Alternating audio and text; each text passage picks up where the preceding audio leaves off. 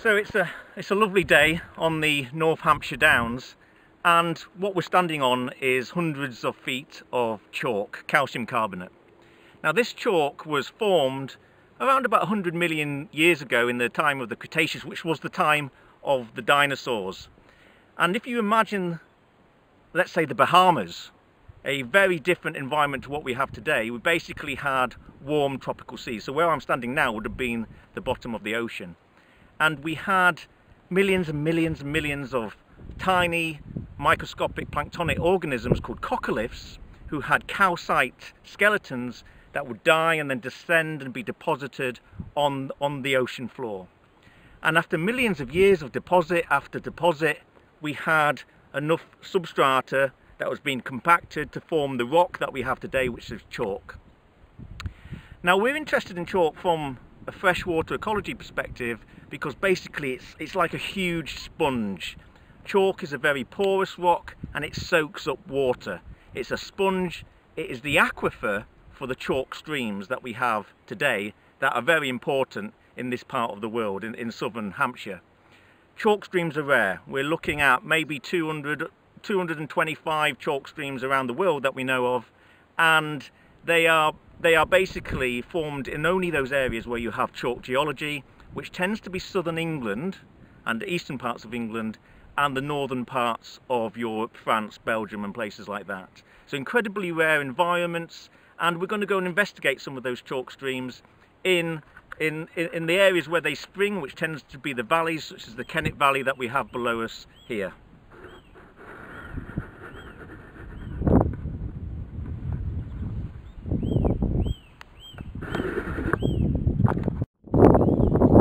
once the chalk river or the or the chalk streams emerged at the bottom of the downs this is what we tend to see in the very upper reaches. And, and you can see here the the nature of a you know the up, upper reaches of a chalk stream and also the intensive agriculture in this case sheep in in in the surrounding landscape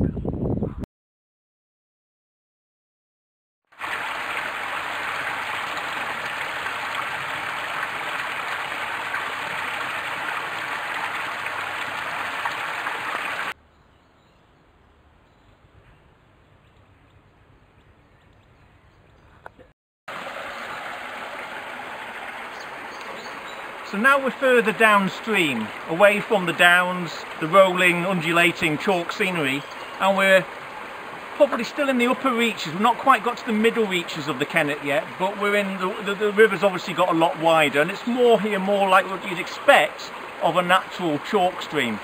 If you look at the gravel, for example, it's relatively clear. I mean, this is what we're looking at with chalk stream gravels gravels and flints of around about that size. I'm not seeing any big boulders or anything like that.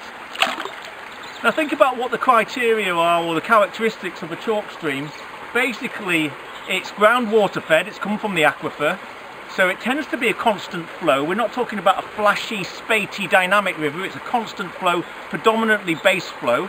Also has a relatively constant temperature, around about 12 degrees at the, where it rises from the springs pH is neutral around about 7.2 pH and we've got a really quite productive system. Hard water geology, we've got a lot of plant nutrients so we're in a shaded area here but when you've got less shade and you've got a lot of light penetration you have a lot of plant growth and it's famous for various plants such as ranunculus. It's also a very important habitat for salmonids, salmon and trout that use this type of gravel to spawn in. So what a female would do is she would come and dig out using her caudal fin, going onto a side, flapping a caudal fin, dig out a little pot or a hole or a nest called a redd, and there lay the eggs. And the male would immediately come in and fertilise those eggs. They'd move upstream a little bit, and then they'd keep cutting again, and that would force more gravel to cover up those eggs. So the eggs are in the interstices, they're in between the gaps of that gravel. So what's really important is that there's a good through flow of water to provide oxygen to those developing embryos and also to take away metabolic byproducts, the metabolic waste.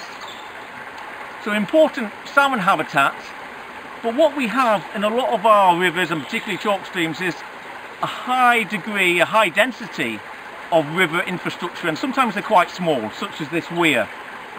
What we have, if you focus on that, is a series of pipes that are to convey the water under what is a small bridge.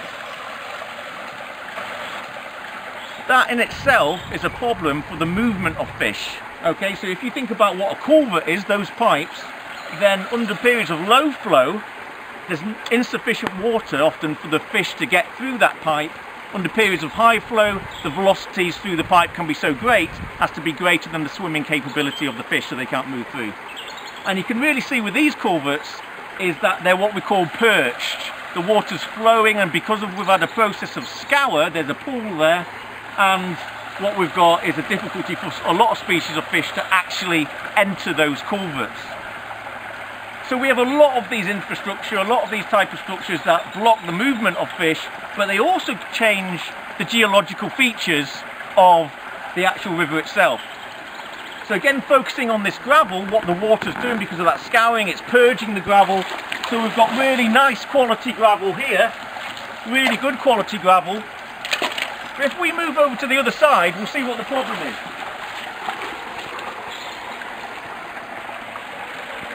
So follow me. So on the upstream side, we've got much lower flows, and here we've got the deposition of the fine sediment. Now this is the fine sediment that's coming off agriculture. A big problem because it's bringing all this silty clay material that's going to clog up that gravel. It's also, remember what I said about chalk streams being very productive, a lot of plant nutrients, we're also flushing off from agriculture the nitrates, which can lead to cultural eutrophication. But you'll see the difference, and I'm sinking in here, between the type of gravel, between the type of substrate in that river, between the upstream, you know, we're talking three meters away. From the upstream and the downstream, downstream we've got really nice, um, clean gravels, upstream you have these deposits. Now this is habitat for some species such as lamprey, from the perspective of salmonids, it's a real big problem. And because in rivers such as the Kennet, where there's been a huge amount of abstraction of water for human use, you have a situation where the flows are lower than they would be naturally, and therefore the river has less potential to purge those gravels with um, purge those gravels of this fine sediment. So we're having greater and greater accumulations of this sediment with no means by which the river can get rid of it and here you can just get the feel for just how chock-a-block this sediment is with these fine sediments that have come off the fields part of our part of the consequences of the agricultural practices that we employ means that these chalk streams are now really inundated with very very fine silty sediment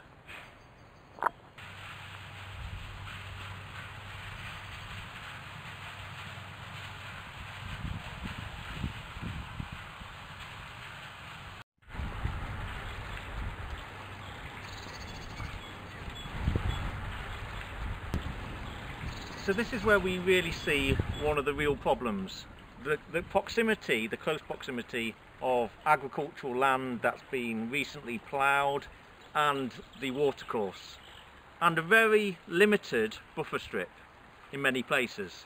So what we have during periods of high rainfall is a lot of overland flow straight into the chalk stream and that's bringing all this fine sediment, all this fine silt, anything under two millimeters is considered a fine sediment that is clogging up the interstices of the natural um, chalk stream gravel.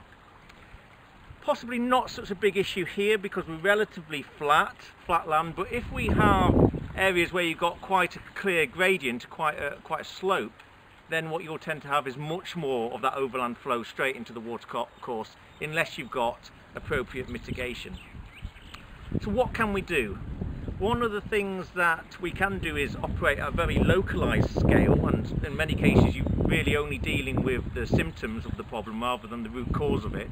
But one of the approaches that has been employed by the Environment Agency over the years is the use of what they call um, gravel cleaning mechanisms where you use high pressurized hoses and you put them into the gravel and you literally blow away you purge the gravel with this high pressured water taking the sediment downstream. Now of course in that scenario what you're doing is just putting a sticky plaster onto the real problem, it's moving the problem downstream.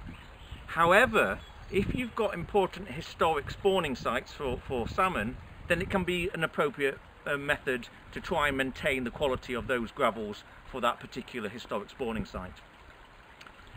More locally, again, you can use, as I mentioned, buffer strips is when you have an area of, of land that acts as a barrier from the agricultural land to the watercourse. So it's a buffer and it's a, a way to try and slow down the rate at which that fine sediment enters the rivers and also the nutrients and the nitrates that come off, off the land with that water. The bigger the buffer strip, the more vegetation obviously, the better. But the other thing we can do really relates to a larger catchment scale uh, restoration and that is change agricultural practices. And one of the big problems has been over the years is the change to pig farming in the upland hills and that produces a lot of sediment that's easily flushed off into the streams.